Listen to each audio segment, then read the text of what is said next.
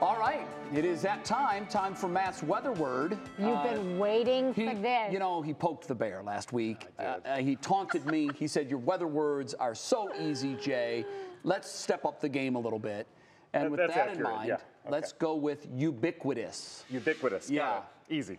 Uh, wow. Yeah, watch this. You're not even going to ask me to use that in a sentence? I was going to say, can you use it in a sentence, please? yeah, okay. So I've the meaning it is before. widespread and everywhere. Okay. Okay, so the Got meaning would be tonight in Pittsburgh, mm-hmm. there will be terrible, t- you, you, t- terrible towels, towels will be ubiquitous. Got it.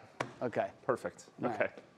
What, herpetologist wasn't enough for you last week? That's true. Yeah. Uh, Lita, that one did not make the cut last oh, week. Okay, okay? right, yeah. Right, I remember you pitched that to the bosses. They said, you know, it's too close to some other words. So there's that.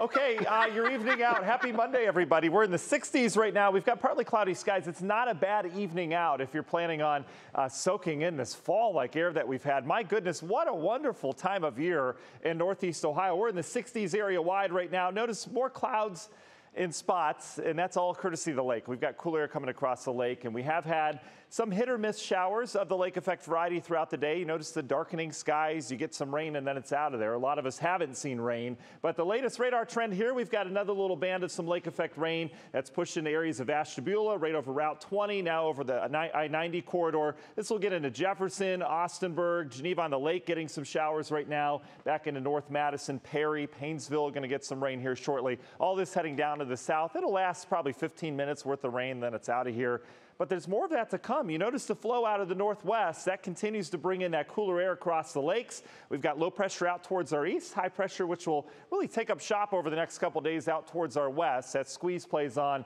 and it's bringing the cool fall-like conditions across the Great Lakes and areas of the northeast. So overnight tonight, Continued cool, temperatures back into the 50s. We'll likely see upper 40s in spots. Most of us stay dry. The lake effect should kind of tame down a little bit as we lose that daytime heating, but still can't rule out a couple showers out there as well. Browns, Pittsburgh, around 62 degrees at kickoff. We'll have partly cloudy skies. We're not expecting any weather problems whatsoever down there and hopefully no problems on the field either for the Browns. National Design Mart hour by hour forecast. Notice how lake effect kind of dies out tonight. Tomorrow morning, all indication is we get a little convergence out over the lake. That would kick off more lake effect showers much like the last couple mornings, likely forming over Lorain County and areas out towards the west. Those could spread east, so don't be surprised if you see more of the same tomorrow morning with the clouds, couple showers around. Otherwise, if you're not in lake effect areas down to the south, you'll have mainly clear skies, lots of sunshine tomorrow. It is another cool day, very similar to today. We'll have sunshine mixed with clouds in the afternoon.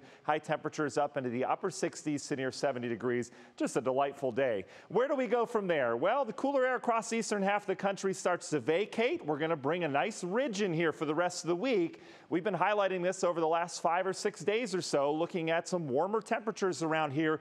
Doesn't look to last that long. We'll get some kind of system out towards the west for the weekend.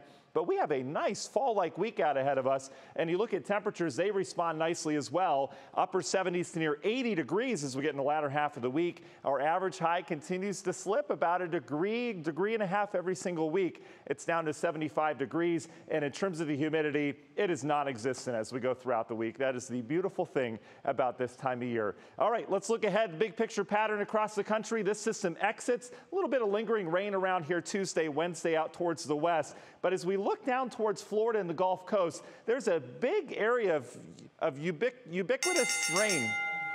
The rain is the rain is very the rain's very ubiquitous down here. Is that better? That's better, right? That makes time it's ever been used in a weathercast. I doubt it. I'm pretty sure it has been at some point. Uh, anyway, down towards the Gulf Coast, all, all sorts of rain. You get what I'm saying. And we're going to have to keep an eye on this because this is going to be some kind of tropical system as it looks right now that may spray some moisture in here a week from today. We'll see. But until then, it remains dry and we could use the rain. We're turning kind of droughty outside. I know that's not a meteorological term, but it has been dry. Some of you haven't seen a good dose of rain in over 21 days, so we could certainly use the rain. And there's not much of it this week. Union Home Mortgage seven day forecast dry through Saturday, and then we're dancing around with maybe some tropical moisture Sunday into Monday.